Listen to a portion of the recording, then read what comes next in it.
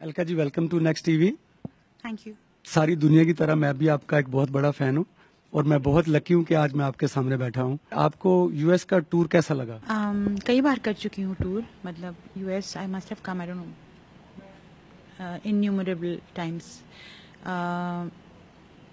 कुछ uh, कम से कम नौ दस बार तो आई हूँ but I think this is been one of the best tours well that's very nice ji मैंने आपको पहले भी देखा है और बहुत दफ़ा सुना है आप, आपको यहाँ पे।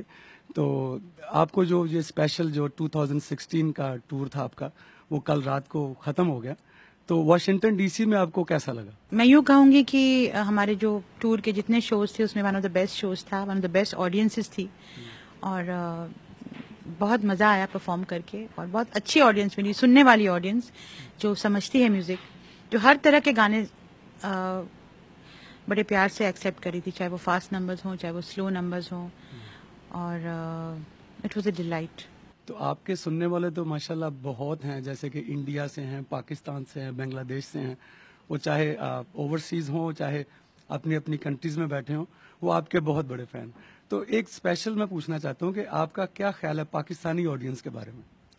पाकिस्तानी ऑडियंस तो मुझे लगता है मैंने पाकिस्तान में बहुत से शोज़ किए हैं। कराची में इस्लामाबाद में लाहौर में।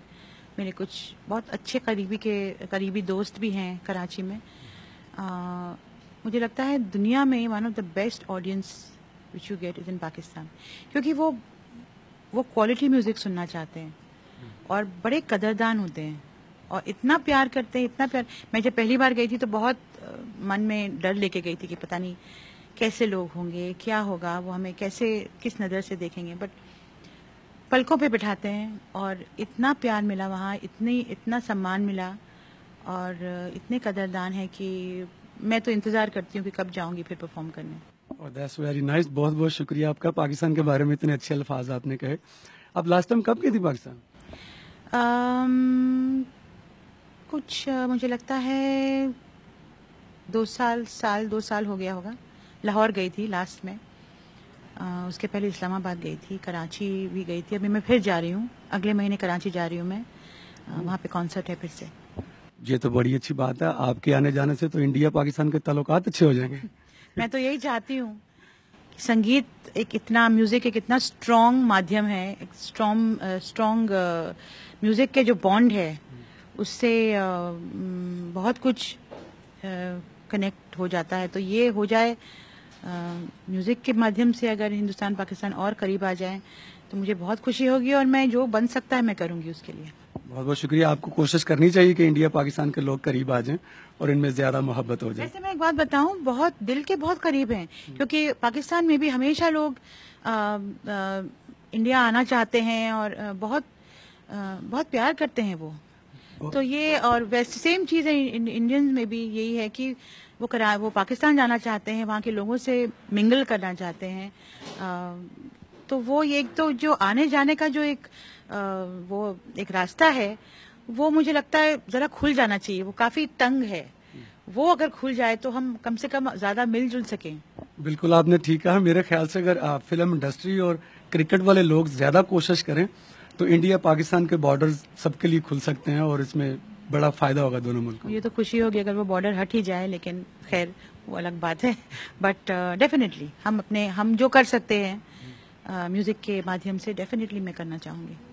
चलिए बहुत बहुत शुक्रिया। एक मेरा सवाल है आपसे कि आपने पिछले सात साल से नहीं गाया और आपने एक गैप रखा उसकी कोई वजह थी? अरे ऐसा है ही नहीं कि मैंने नहीं गाया। मैं तो गाती ही रही हूँ और बल्कि पहले से ज़्यादा गाती रही हूँ। हाँ अभी म्यूज़िक जो है वो सिर्फ़ फ़िल्मों तक सीमित नहीं रहता है। म्यूज़िक उसके आगे निकल गया है। एल्बम्स हैं रियलिटी शोज़ हैं कॉन्सर्ट्स हैं। बहुत से अ, अ, माध्यम है म्यूज़िक के लॉट ऑफ़ चैनल्स पहले क्या था? म्यूज़िक वाज सिंगिंग वाज अभी स्टूडियो में गए आपने किसी फ़िल्म के लिए गाना रिकॉर्ड किया। लेकिन वो जमाने लद गए। अभी म्यूज़िक बहुत आगे बढ़ गया है उसके कई चैनल्स हो गए कई वो हो गए तो मैं हमेशा म्यूज़िक में रही हूँ और गाती रही हूँ। जिन दिनों बहुत रिकॉर्डिंग्स करती थी स्टूडियो में उन दिनों कॉन्सर्ट्स नहीं करती थी क्योंकि मैं थोड़ी शाय थी थोड़ी रिज़र्व थी। बट मुझे धीरे धीरे मैंने कॉन्सर्ट्स करने शुरू किए और मुझे इतना मज़ा आने लगा कि अब मैं बहुत से कॉन्सर्ट्स करती हूँ जो सारी दुनिया में जो इतने सारे गाने हैं जो मशहूर हैं। तो अ, अब मैं दुनिया जितनी दुनिया में जितनी जगह हैं जहाँ पर ये गाने लोग सुनते हैं, मैं जाती हूँ, करती हूँ तो मैं म्यूज़िक को लेकर मैं बहुत ज़्यादा बिज़ी रहती हूँ। जहाँ तक रिकॉर्डिंग्स का संबंध है, आजकल का जो ट्रेंड है म्यूज़िक का, वो काफ़ी बॉलीवुड में अगर फ़िल्मों में कहा जाएगा, film film, Hindi film music उसका ट्रेंड एकदम अलग है और कुछ अजीब गरीब किस्म के गाने ज़्यादा बनने लगे हैं। तो उस तरह के गाने मेरी वॉइस को सूट नहीं करते। कुछ बेसिकली सॉफ्ट रोमांटिक नंबर्स मेरी वॉइस को सूट करते हैं। तो अगर मेरे लायक या ऐसा गाना जिसमें मैं कंफर्टेबल हूँ, वो मेरे पास आएगा तो मैं डेफिनेटली गाऊँगी। नहीं, ये तो बड़ी अच्छी बात है। जितने भी गाने बदल जाएँ, जितने भी फ़िल्में बदल जाएँ, लेकिन एलका जी तो बिल्कुल नहीं बदलेंगे और ना ही उनके फ़ैन बदलेंगे। तो हमारी दुआ है कि फ़िल्म इंडस्ट्री वाले ऐसे गाने बनाएँ, ऐसी फ़िल्में बनाएँ, जिसमें आप जैसे गुलकार हमेशा से गाएँ और गाते रहें। एक आखिरी सवाल मेरा आपसे ये अलका जी कि आपका यहाँ आना तो सब लोगों के लिए खुशी की बात है। तो हमारे लिए खुशी की बात होती है यहाँ के जो प्रमोटर होते हैं। तो हमारे यहाँ के बड़े बेस्ट प्रमोटर हैं आप इनको जानती हैं मनीष सूद साहब और उनकी लवली वाइफ दीपिका जी।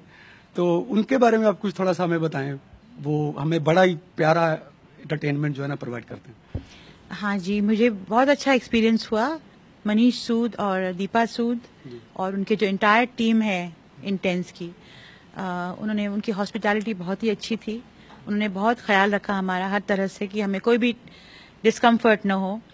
और show was very well organise everything was in place show के दौरान कभी कभी प्रॉब्लम्स आती हैं अगर ऑर्गेनाइजर्स साउंड ना हो।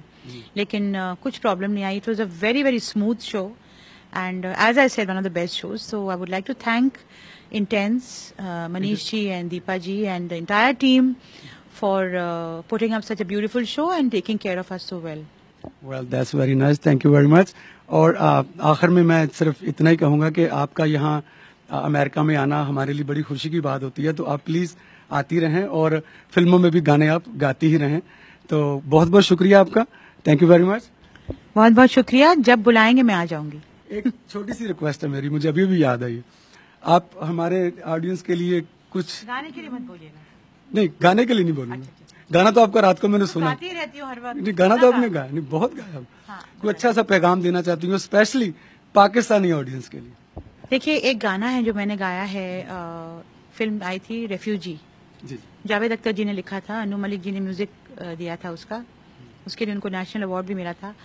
अ, बहुत ही खूबसूरत गाना है और उसके जो लफ्ज हैं मुझे लगता है वो हिंदुस्तान इंडिया और पाकिस्तान के लिए अप्लाई करते हैं। और मैं भी वही कहूँगी जावेद साहब के वर्ड्स में पंछी नदिया पवन के झोंके कोई सरहद ना उन्हें रोके।